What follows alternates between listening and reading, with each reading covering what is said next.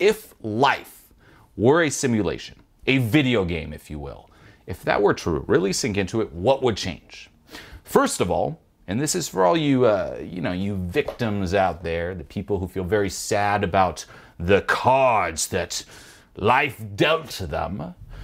Remember this you don't need quote unquote aces or amazing cards to have an amazing experience. Okay, if you've ever played a card game, winning isn't the answer. It's not about like, I'm number one, I won the game, right? I mean, of course, that's cool, but why do you play a card game for the actual experience? And guess what? If you have terrible cards, again, terrible cards, does that mean that your experience playing the game is going to be horrible? Of course not. You can still have a blast. So, this is my take. And the first thing I want to touch on here you might be thinking, you know what, the cards I were dealt are just terrible. Poor me, right? Um, usually people focus on money and looks. Those are the two big ones. Like, let's look at the money card that life dealt me. Well, it's not all that. Okay, what about the looks card that life dealt me? It's not all that either. Ugh. And what do they do? They put the cards down and whine and complain. And you know what feels even better than whining and complaining? Gathering around with other whiners and complainers, and then looking up to a leader of whiner and complainers. This is still very, very a thing here today, by the way. There's even whole YouTube channels of whiners and complainers, and they recruit the whiner and complainer following. It's insane. Okay, so if right now you feel like a victim, if you're whining and complaining, you know, the land of victimhood is really, if you've ever watched the show Big Mouth on Netflix, um, there's a character called Depression Kitty. That's the land of Depression Kitty. Instead of taking responsibility and actually doing something about your life, hey, actually taking action and moving up, it's Depression Kitty pops up and, uh, you know, don't you want to just lie down in bed and just, uh, don't do anything. Maybe jump on one of those complainer YouTube channels and listen to someone else complain for a change and agree with it and just, you know, feel so sorry about yourself and your miserable cards that life dealt you and how life is unfair. Wouldn't that feel good? Right? That's the land of grief. For that, foot down and no. Depression kitty, no. Okay. Here's the key. No matter what cards you were dealt, sure you can whine about them, or you can realize, you know what? I don't need two aces to have an amazing experience. I've had so many amazing experiences playing cards. Again, we're going with the card analogy here first, um, where I didn't win at the end, where I just had terrible cards the entire way through, but I loved every second of it. Why? Because the purpose of a game isn't to win, it's to play the game, it's the actual experience. Same here, the purpose of life isn't to win. What is winning?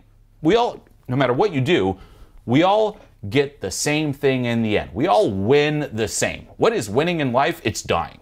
That's it. No matter how you live your life, no matter what you do, no matter how amazing your cards are, no matter how good looking you are, or how much money you have, you know what happens to you in the end? You want to know what your prize is, your reward is in the end? You die. That's it. No matter what. So instead of obsessing, am I winning? Am I ahead? Hey, you're going to die. No matter what, you're going to die.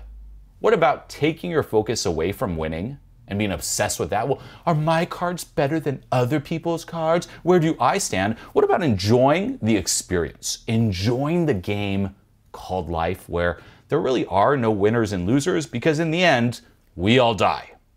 Okay, that's the first thing, and this is especially for people who are, again, stuck in this grief victim mentality. Now, here's the thing when you play a video game, you still experience the same range of emotions. Right? You still experience, for example, excitement, fear, anxiety, so on and so forth. But for some reason, in the video game, it's much lighter, isn't it? Think about it, right? When you're playing a video game, sure, there's anxiety, but the character experiencing anxiety is very different than the player, you, experiencing anxiety, because you're not identified as the character. The same as people who attach their self worth to success, right? It's like, the more I achieve, the better I am.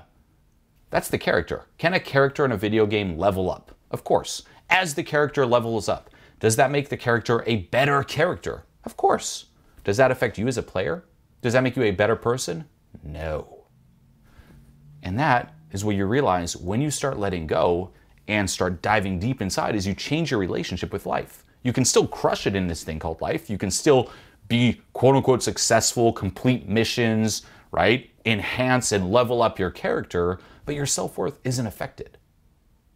You're not trying to justify your existence through the character. You are enough, and you're playing this game and enjoying once more the experience.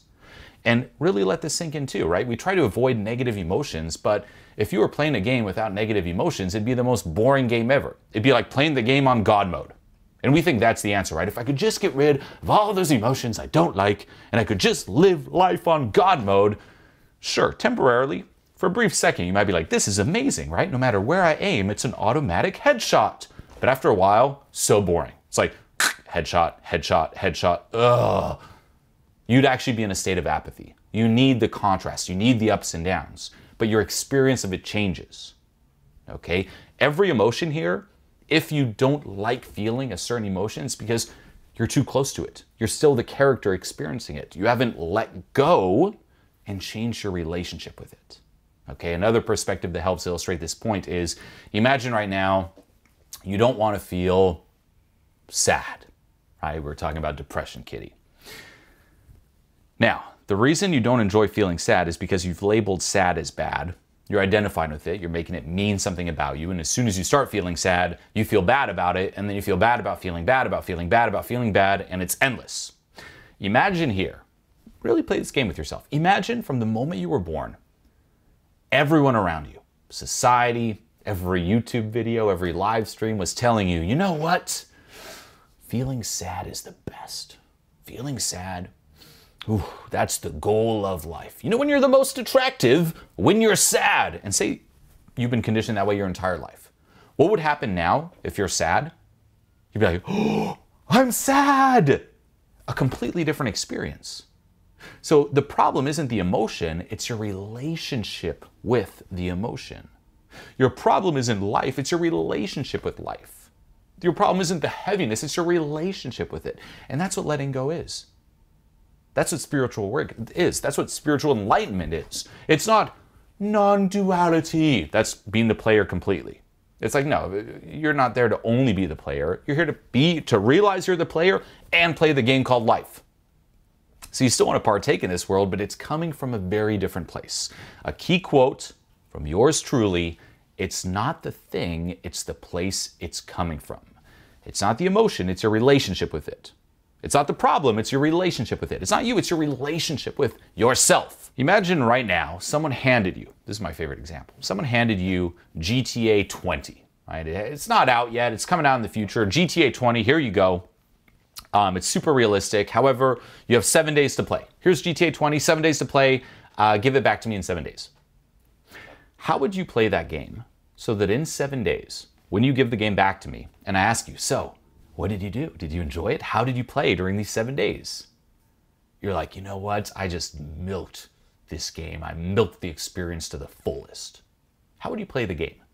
Would you play it as the taxi cab person? Well, um, I uh, did a lot of taxi cab missions. You know, I look, I collected a lot of money. That's what you did. No, you would play it in a very authentic way. You would explore. You would do it feels authentic to you. You would discover your purpose in life. Treat life that way. Right? If you think about life, none of us once more get here, get out of here alive. Right? There's actually a a book, uh, "No One Here Gets Out Alive" from a Doors song um, a Jim Morrison biography. I read that years ago. And I was like, oh, no one here gets out alive. But it's true, right? We try to so hard to survive, yet we all die. You can't take anything with you. You can't take your money with you, your looks with you. You can't even take this vessel with you. Yet we're so obsessed about that. But ultimately, how are you going to live it so that when you die, you look back and you're like, that was a crazy experience? I stay true to myself and I really played this game called life. That's your purpose. And you also realize that there are no imposed purposes. And this is where we touch on this nihilism point. Well, no matter what you do, you die, so what's the point? You know what? I like that there is no point. Why? Because that allows you to come up with your own point. You don't want a point imposed on you, because what does that mean? Oh, here's your purpose. It's imposed on you. And what if it's not something you enjoy? What if it's not something that's authentic to you? Then you're screwed We're like, well, I got to live up to this purpose. No, the beauty of no point is you, right? You get to come up with your own point. That's the beauty. Hey, no point. Let me come up with my own point. Remember GTA? This is like, I want the imposed missions. You imagine you passed all the missions. You won all the missions. And now you're free roaming, right? No more missions. You're free roaming. You can go wherever you want in the map, do whatever you want. It's very to be like, well, there's no mission, so what's the point? Screw this. Or, I'm free. Let me come up with my own missions that will make this experience great. Okay, so notice you're at the tip here. You can go to nihilism or freedom and true enlightenment. And that's what enlightenment is. It's realizing, you know what? Yes, I'm the character, but I'm also the player. I'm not trying to identify with the character. I'm playing through this character in this game and this simulation and this thing called life. And the result is the experience. And that doesn't mean don't have goals, right? Think of that video game. If you're free roaming at the end and you don't have goals, it gets boring very fast. So the key is you come up with your own authentic goals, but not so that when you accomplish them, you're like, yay, I accomplished them. The beauty of an authentic goal is it enhances the present moment experience. It enhances the free roaming. Okay? So once more, if life were a simulation or video game, that's what would change. And these perspectives can help you tremendously. Like this program is such a game changer. The way everything's structured and the material, it's been already even for me, it's just been I'm noticing a crazy change in, in the way that my whole life's like playing out. What you put together is just incredible. There's nothing like that. I've just jumped like a million levels. It's just been a complete 180 for my experience of existing. That's awesome. it's just been so huge in terms of so many of the things I'm finally understanding and realizing and epiphanies I'm having. What you do is a huge inspiration to me, and I think it's one of the most beautiful things you can give to another human in this entire world. You saved my life, man. I'm telling you, that's this is real, man. Sometimes all it takes is just one person who believes in you. Find people who are where you are in life and model them, work with them. I would not be here if I didn't have people who held me accountable. Wow.